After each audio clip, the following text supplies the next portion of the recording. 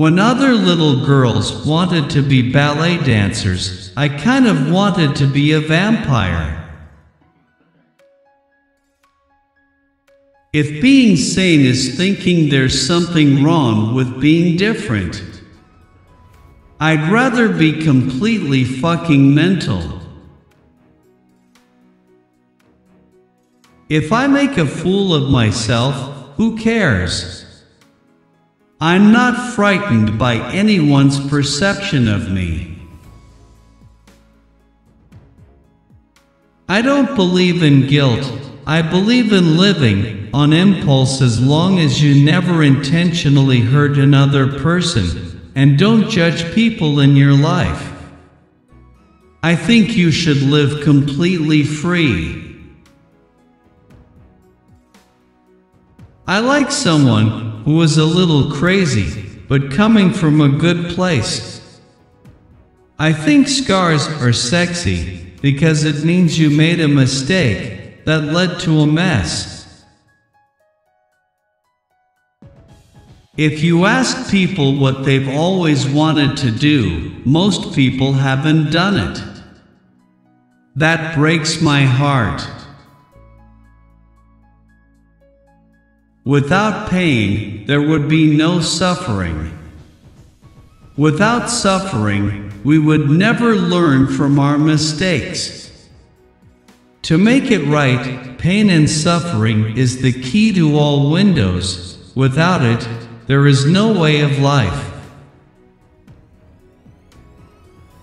Anything that feels good couldn't possibly be bad. We come to love not by finding the perfect person, but by learning to see an imperfect person perfectly. You'd think, what if I make a mistake today? I'll regret it. I don't believe in regret. I feel everything leads us to where we are and we have to just jump forward, mean well, commit, and just see what happens. Barefoot or first thing in the morning, I feel beautiful. I didn't always feel that way, but I feel that way now. When somebody loves you, and when you make somebody else happy, when your presence seems to make them happy, you suddenly feel like the most beautiful person in the world. Wherever I am, I always find myself looking out the window wishing I was somewhere else. If I think more about death than some other people, it is probably because I love life more than they do. Love one person, take care of them until you die. You know, raise kids. Have a good life. Be a good friend. And try to be completely who you are. And figure out what you personally love. And like go after it with everything you've got, no matter how much it takes. People say that you're going the wrong way when it's simply a way of your own. The truth is, I love being alive. And I love feeling free. So if I can't have those things, then I feel like a caged animal, and I'd rather not be in a cage. I'd rather be dead. And it's real simple. And I think it's not that uncommon. I'm with a man who's evolved enough to look at my body and see it as more beautiful because of the journey it has taken. I find flaws attractive. I find scars attractive. I never felt settled or calm. You can't really commit to life when you feel that. I need someone physically stronger than me. I am always on top. It's really unfortunate. I am begging for the man that can put me on the bottom. Or the woman. Anybody that can take me down. Just start off with the same goals in mind. If you have the same values, same goals, then you'll be on track for the same future.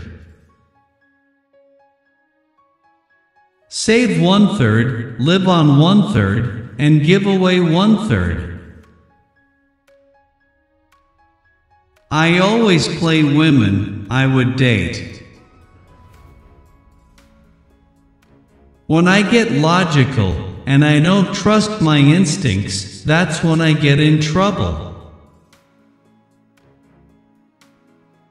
There doesn't need to be a God for me. There's something in people that's spiritual, that's godlike. I don't feel like doing things just because people say things, but I also don't really know if it's better to just not believe in anything either. What nourishes me also destroys me. I don't believe in guilt. I believe in living on impulse as long as you never intentionally hurt another person and don't judge people in your life. I think you should live completely free.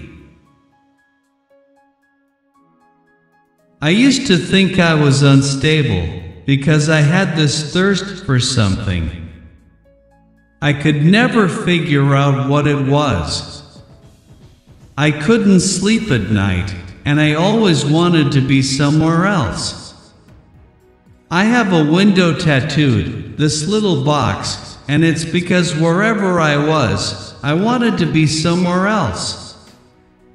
And I always saw myself, wherever I was in life, staring out the window. The mind wants to forget because it weighs so much on the heart and soul. I am tired of crying and feeling so helpless. I want to breathe again just for a little while. I want to be outspoken.